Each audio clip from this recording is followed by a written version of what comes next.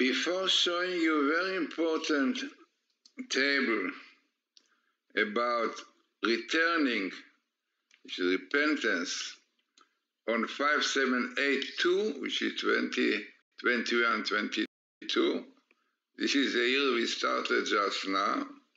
And definitely the years 21 and 22 are basically in one year of the Jewish one, 5782. But before seeing the table, let us see very important saying verse of our sages in the Talmud, Sanhedrin 97a. Very, very important, really. It is unfortunate that I see people don't follow my YouTube properly and also, unfortunately, don't lack knowledge, you know, so they come to wrong ideas, not understanding. So, where, where is the Messiah? He says Messiah is coming.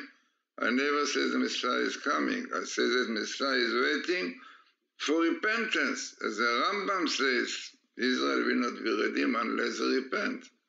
So, clearly, this year that we went through Tafshin Pe'alef 781, 5781, as a Khatam Sofer says 190 years ago that this year will be a year of redemption. But what he says that the letters of this year are Me'ashpot Yarim Eviom, from the Psalm which says, from the refuse we lift the needy, we lift up the needy, you know. So refuse we have a lot now in Israel. You see this government is against the Torah, Lapid, Lieberman, and no Orthodox, and uh, difficult situation, unfortunately.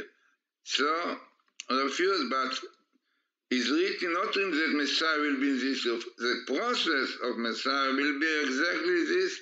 This is exactly what the Talmud says more than 2,000 years ago. This is Sanhedrin 97a, one can see it. So what is written there? Sabbatical cycle, during which the Messiah, son of David, comes. So this is what is written there, and definitely written every year, but I take this really relevant to our time. So what is written there? During the sixth year, heavenly voices will be heard. So Rashi, the commentator Rashi says, voices, the son of David is coming. Listen, clearly, it means voices will be sound.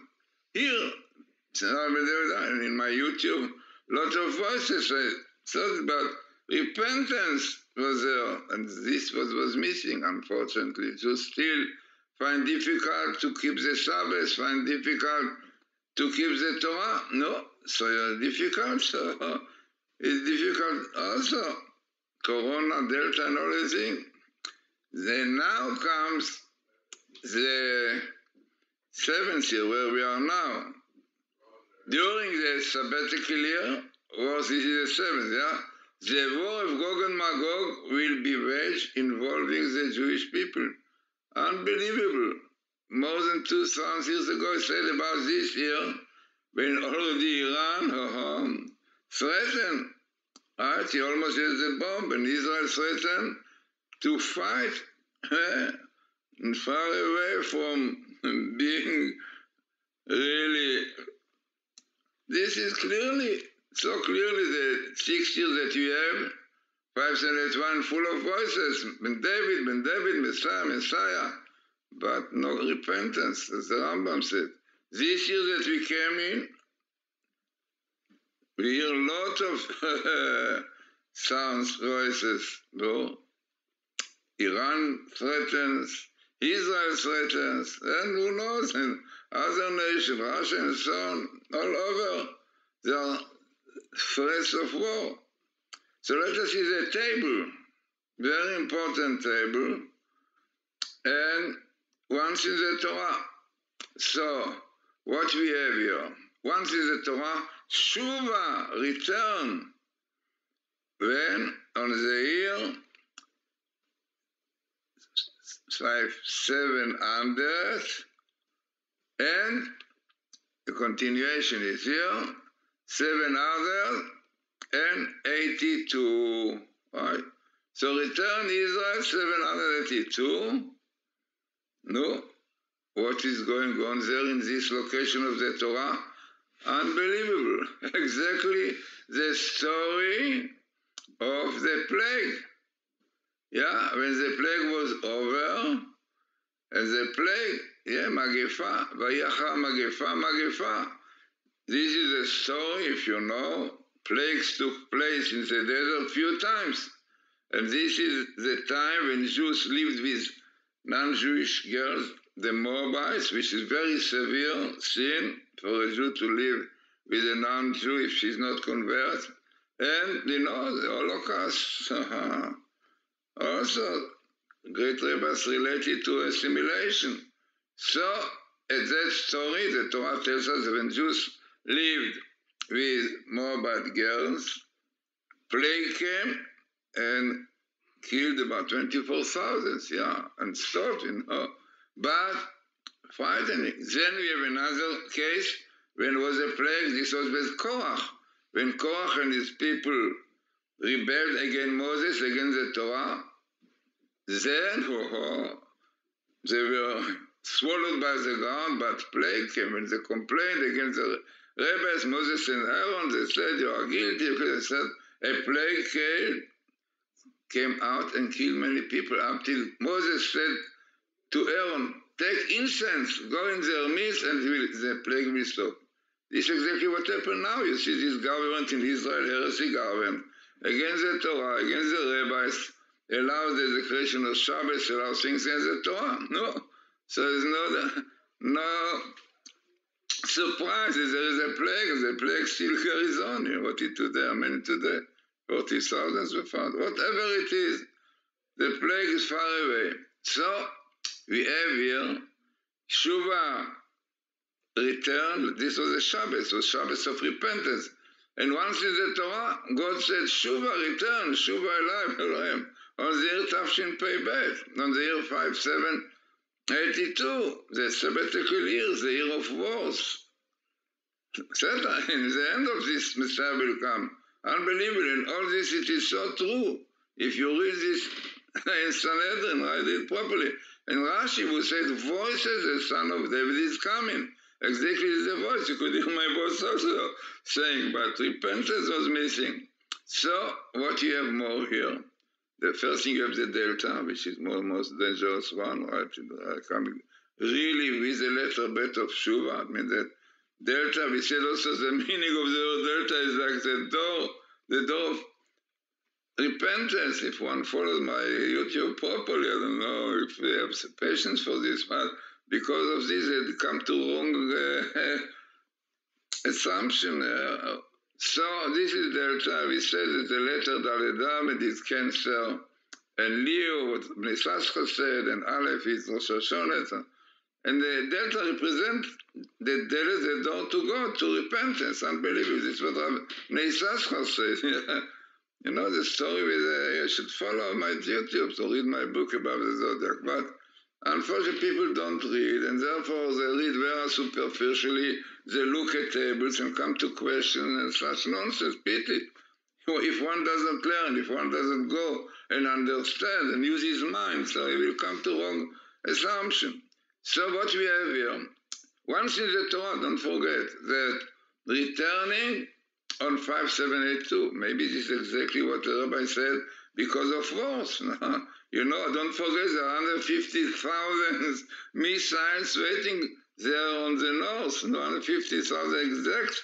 These are very, you know, uh, missiles which exactly know where to go. And Imagine that this one today is a new president in Iran, very cruel one, yeah, one see, for him uh, is no problem to send those 50,000, so in one second they say, you know what, uh, there is opinion that uh, Gog Magog will take seven minutes, eight minutes, so now we cannot do that. If you send 150,000 missiles, no, maybe even less than seven minutes Israel will not exist. This is what is written. All what I said is written. One should know. Yeah, so everything is uh, relevant, right? And you have also missiles, in, rockets in the south. You have terrorists in Israel itself. You can see that the Arabs in Israel, you know, when something like this happened, like in Lud, yeah, Jews and Arabs live together, and then suddenly the Arabs get up and kill people, kill Jews. So everything is here. So let us see what is written again. So returning on 80, 22, which is 71, 72, 22. Then redemption, hoping to be a small thing. But, and also even son of Joseph, unbelievable. We know that before son of David becomes son of Joseph and Messiah. We should know that it's not so simple to have son of Joseph come next to Messiah. Yeah, people think that it's easy to make tables, you know, and to have here minimal the Torah, Mashiach Messiah is living. Fits with very much with what Rabbi said, Kabbalist, that Messiah even is now midst, waiting, yeah, clearly. But no, people don't open the door for him. You have to wait for Delta to open the door, yeah. And what is it? Door repentance, yeah. As is written, Dovke B'tshuva, knocking with repentance, knocking on the door. Unbelievable. Then come Messiah also, you have Messiah here, and again Messiah, and Messiah, three Messiahs, because we have also Cyrus. Cyrus was called in Isaiah 45, chapter 45, Meshichim, my Messiah. God called him Messiah. Why? Because he recognized Israel he allowed Jews to settle and even to build a temple. Exactly, we had somebody like this, Donald Trump, also. He believed in the prophets, he realized Israel being holy place and Jerusalem, right? Believes the prophets. But there is a Satan. Is a Satan Democrat? Democrat is the same gematria uh, of Satan. Why? Because Democrats allow things against the Torah. They allow abortion, they allow homosexuality. this is exactly what brought to the flood. Yeah, it's written, the Torah says in Genesis, you can read it, in English also you have it, read that the, the generation that are corrupted, and the explanation corruption was in abortion, and this is why the rain which brought the flood lasted for 40 days, because God wanted to indicate to people, you caused me to create creatures and fetus, embryos of 40 days. 40 days already have meaning. Yeah? And because of you caused me to create them and to destroy them, I will destroy you. Then came the flood and destroys the whole world. Now our rabbis tell us, God said, I will not make floods all over the world, but I make floods in Germany. Yeah, also maybe New York, you know. There are floods but not all over. To remind us what brings to the flood, yeah, transgressing the Torah. Gentile also to keep the seven laws of Noah. No, they don't keep it. You see, this Biden, that Obama allows such terrible thing to destroy, to kill people, children. These children could grow oh, to be great people. So only for enjoyment, people give everything. It's unbelievable. And this comes the verse of the Torah, which says, and this is instruction, the laws of the rules that the Lord your God has commanded me to impart to you. Unbelievable. Clearly comes and telling us that this is what we should do, should keep the Torah, should learn about the Torah. Non-Jews should learn about, gent- about uh, the Gentiles should learn about seven laws of Noah, what they are, and the same definitely Jews, yeah. No, but the Satan is very strong, he feels that his end is coming, and really his end is coming. So he's doing everything. So, so he, he made terrible government in Israel, heresy government against the Torah, yeah, leftist, and no orthodox in this. So this is a sign that we are very, very near to the Messiah, because one of the signs of Messiah is the darkness, the great darkness before the morning. As, you know, the greatest darkness in the night before morning, is exactly before morning. So this is exactly where we are now. So very interesting and significant table, as I said once in the Torah. Shuva, return. God called that return Israel. Look, there is a delta. I brought delta to you to, to realize there is a God. Two-thirds in the United States realize there is a, a God. Only, unfortunately, don't, they, they forget that they got seven laws of Noach and abortion and homosexuality is the most severe one. So, let us hope that really they will return to God, then redemption will come, then Messiah will come, and son of Joseph will come, is really Ephraim, you know. And the plague will really cease, so like exactly at that time it happened when Jews repented, when they did Shuvah. So very important and significant table for our time. And remember, please, that there is a Talmud more than 2,000 years ago who says that on the sixth, during the sixth year, heavenly voices will be heard. And these heavenly voices be the which clearly showed, yeah, that when David Messiah about repentance. Yeah, no, now we enter the seventh year on this uh, Talmud said during the sabbatical wars this is the, the seventh war of Gog and Magog. Unbelievable, exactly threats of war we have today. We'll be wars involving the Jewish people, no? You know, what they said, what Lapid said, he said that Israel will have to fight. Yeah, we will not think, will not take consideration what the state says, but Israel will fight. No? What you mean better than 2,000 years ago? All of the rabbis told us exactly what is going on. So hoping that really people will look at my tables properly, try to listen. Difficult English, but make efforts to understand.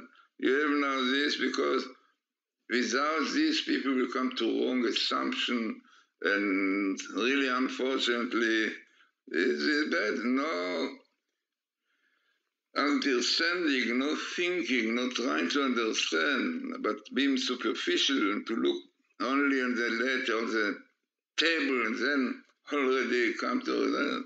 So interesting and important and significant table for time.